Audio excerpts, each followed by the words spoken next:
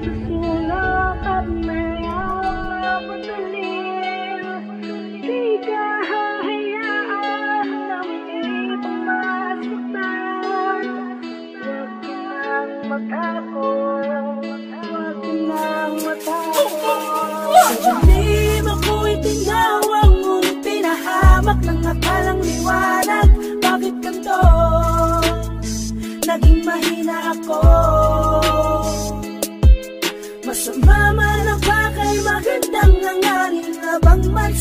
aking damdamin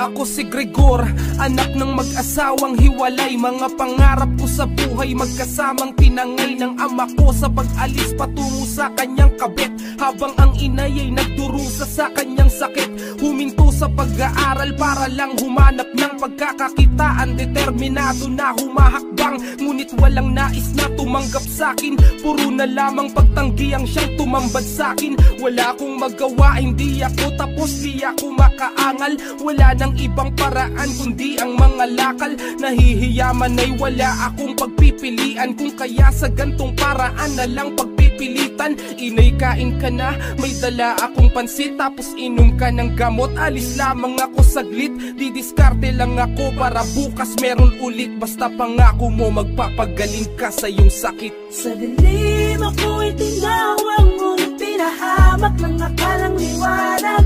Bakit ganito? Naging mahina ako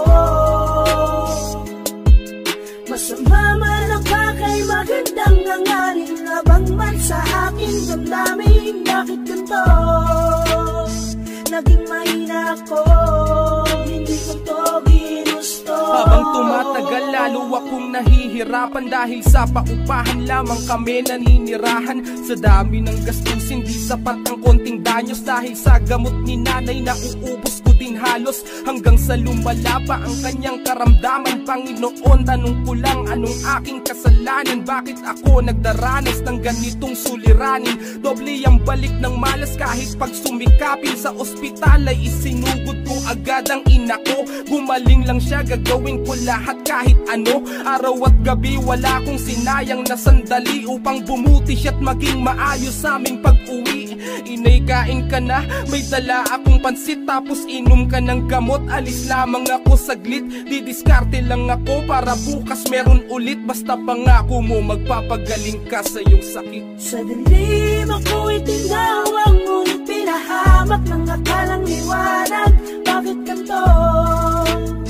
Naging mahina ako Masama man ang bakay Magandang nangaring Habang man sa aking damdamin Bakit ganito? Naging mahina ako Hindi ko to ginusto. Isang gabi ng Webes, lumubog na ang araw. Doon ko naisipan na mandukot at magnakaw. Labag man sa loob ko ay hindi na ako makatagal. Sa karampot na kusing sa aking trabahong marangal. Eskinita sa ermita, babaeng nakabestida. Ako'y marahang lumakad palapit na parang espiya. Mula sa likod tinutukan ko sa tagiliran ng lanseta. Kung ayaw mong masaktan, ibigay mo lahat ng iyong pera sumigaw, kaya ako ay napilitan na itarak ang hawak kong patalim sa kanyang tagiliran Isinantabi ko ang konsensya para sa aking obligasyon. Kay inay upang may pantagtag kami sa operasyon. Ngunit di ko naabutang buhay ang aking ina. At hanggang sa huling hantungan ay nagtataka.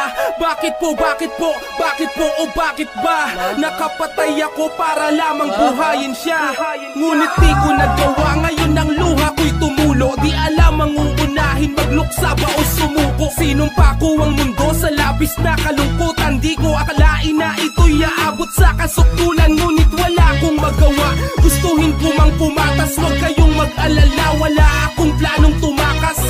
Kaya ang kwentong to'y aking sinasarado. Patawarin mo ko Lando. Hindi ko sinasadya to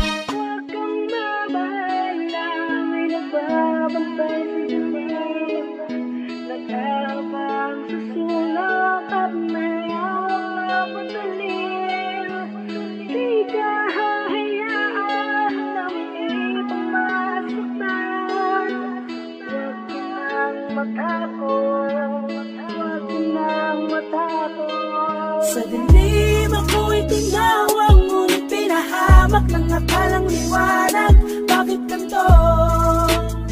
Naging mahina ako Masama man ang bakay Magandang nangarin Labang man sa aking damdamin Bakit ganito? Naging mahina ako